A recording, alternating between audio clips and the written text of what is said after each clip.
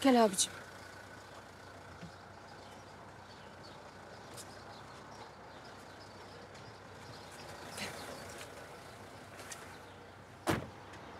Gel Necati.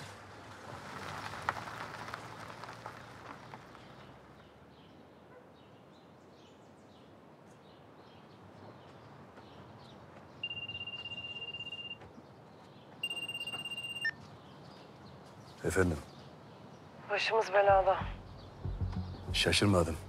Şu savcı Tolga Mehmet İnce'nin peşine düşmüş. Adam kafayı taktı resmen. Ne yaptın? Başkanlığı aramış, beni gönderdiler. Sen bir şey dedin mi peki? Tabii ki hayır. Ama vazgeçecek gibi değil sana söyleyeyim. Mehmet İnce dosyasının peşinde.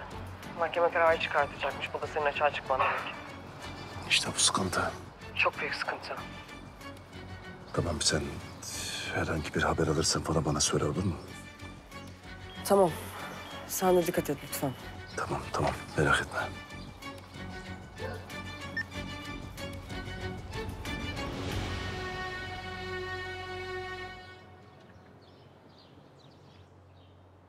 Dikkat et.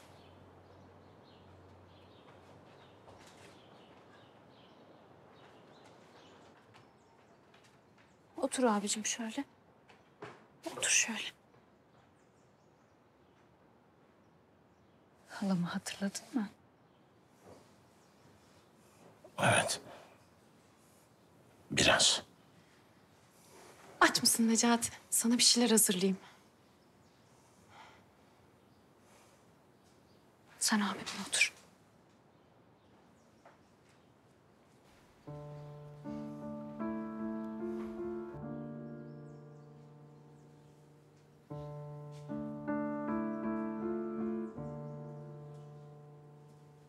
Hala?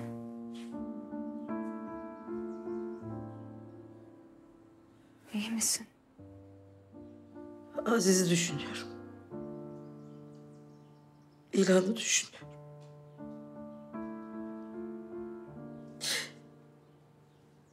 Kusura bakma elimde değil.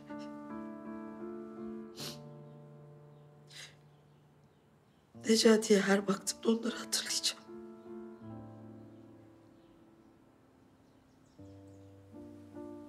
Zor tabii. Hepimiz için zor. Onlar Necati yüzünden öldü. Allah. Bu hikayede abim de mağdur biliyorsun değil mi? Biliyorum.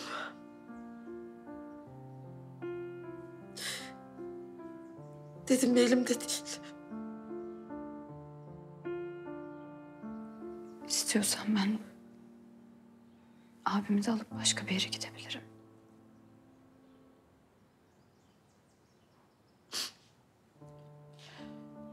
Nereye? Bilmem. Bir ev tutarım. Ya da bir süre stüdyoda kalırız. Bulurum ben bir çaresini sen merak etme. Yok. Olmaz öyle şey. Ben seni bırakamam. Ben de abimi bırakamam hala. Beni anla. Her ne olursa olsun o benim ailemden kalan tek parça.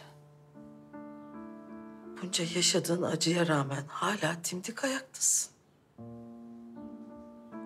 Benim güçlü mahrum. Başka çareme bıraktılar hala. Başka bir yolu yok ki bunun.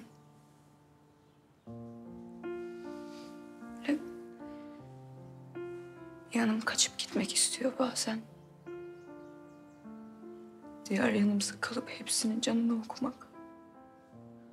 Kaçarsan ne fark edecek ki? Gittiğin yere bütün dertlerini de götürmeyecek misin? Götüreceğim tabii. Götüreceğim, götürmez olur muyum? Bunları da birlikte aşacağız. Hı? Ne olursa olsun seni asla bırakmayacağım.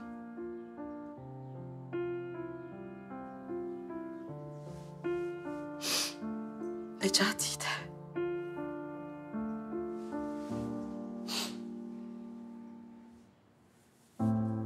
Aşacağız değil mi? Aşacağız kuzum. Necati. Neden kaçtın? Öldürecekler beyi. Kim? Kim öldürecek seni? Mehmet İnce. Burada olduğumu kimseye söylemeyelim. Mehmet İnce her yerde.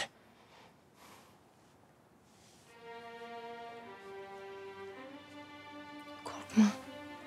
Ben yanındayım. Korkuyorum. Sana bir şey olmasına izin vermeyeceğim.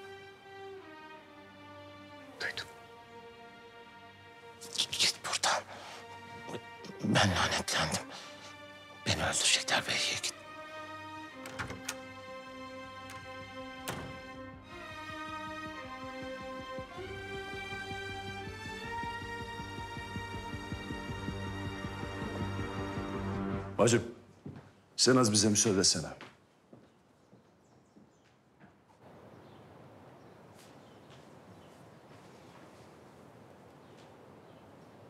Necati kardeş, Söyle Sivaslı. bana yardımcı olman lazım. Olmam. Ya daha ne dedim bile dinlemedin ki. Olmak istemiyorum.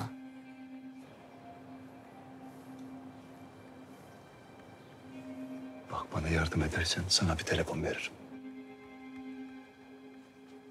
Verir misin? Veririm tabii. Vermez miyim? Ama ilk önce benim sorularımı cevaplaman lazım. Tamam mı? Bak iyi dinle. Sen hurdacı diye bir adam söylemiştin bana. Sen bu adamın hiç yüzünü gördün mü?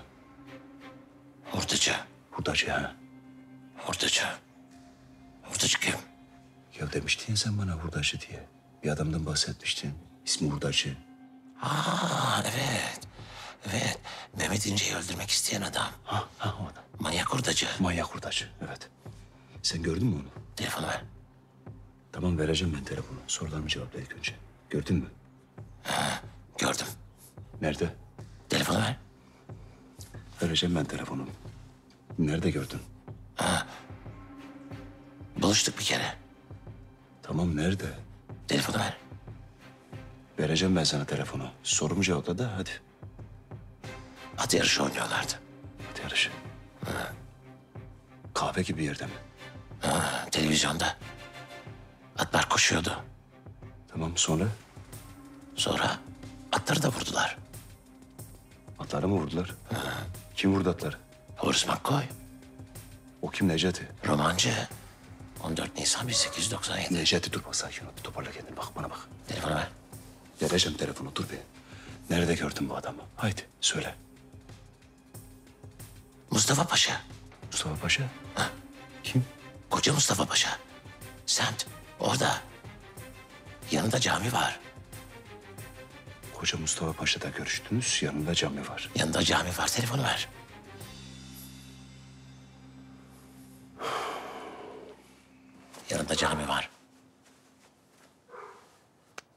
Ekran şifresi.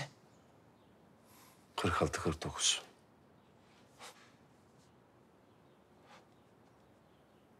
Öyle ulu örterde çıkarma da mahur görmesin. Sakla. Aferin Necati. Sağ ol Sivaslı. Sen de sağ ol Necati.